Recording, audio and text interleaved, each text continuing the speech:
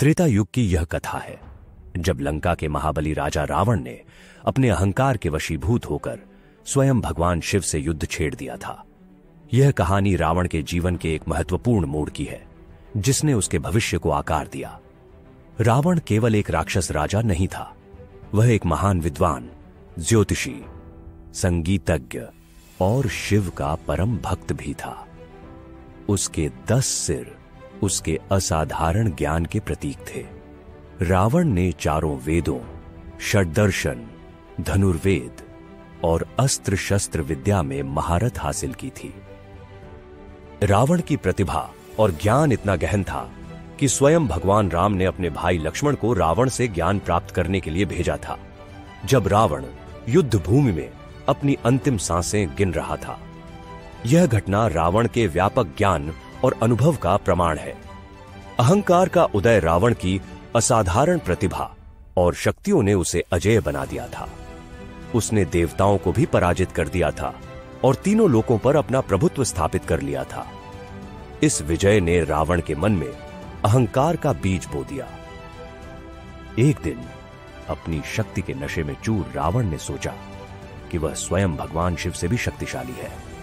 उसने निर्णय लिया कि वह कैलाश पर्वत जाकर महादेव को युद्ध के लिए ललकारेगा। कैलाश पर्वत की यात्रा रावण अपने पुष्पक विमान पर सवार होकर कैलाश पर्वत की ओर उड़ चला। मार्ग में उसे कुबेर मिले, जो उसके सौतेले भाई थे। कुबेर ने रावण को समझाने का प्रयास किया कि भगवान शिव से युद्ध करना मूर्खता होगी, लेकिन रावण ने उनकी एक न सुनी। जब रावण कैलाश पर्वत पहुँचा तो उसने देखा कि भगवान शिव गहन ध्यान में लीन है। रावण ने उन्हें युद्ध के लिए ललकारा, लेकिन शिव ने कोई प्रतिक्रिया नहीं दी। रावण के अहंकार ने उसे अंधा कर दिया था। उसने सोचा कि शिव उससे डर गए हैं। गुस्से में आकर रावण ने पूरे कैलाश पर्वत को ही उखाड़ फेंकने का प्रयास किया।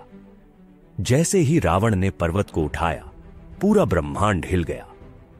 तभी भगवान शिव ने अपनी आँखें खोली और अपने पैर के अंगूठे से पर्वत को दबा दिया।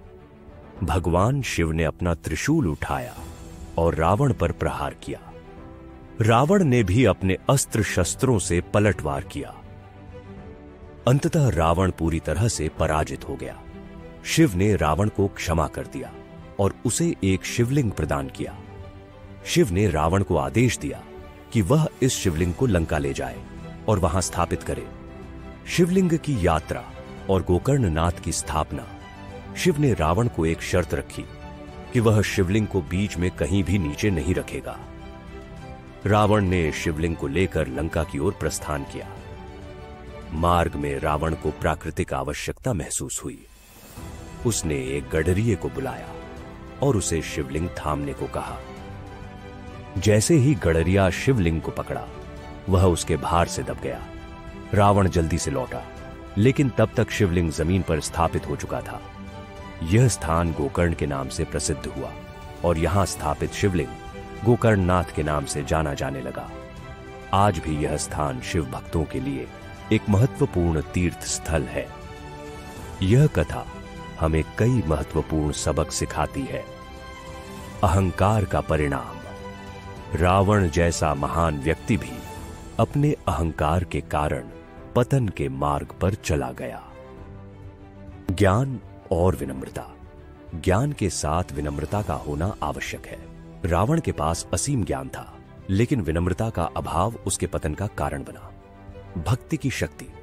रावण की शिव भक्ति ने उसे क्षमा दिलाई और एक नया अवसर प्रदान किया। प्रकृति के नियम।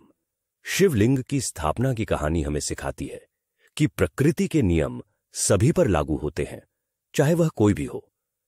इस प्रकार रावण और शिव का यह युद्ध न केवल एक रोमांचक कथा है, बल्कि जीवन के गहन सत्यों को भी उजागर करता है।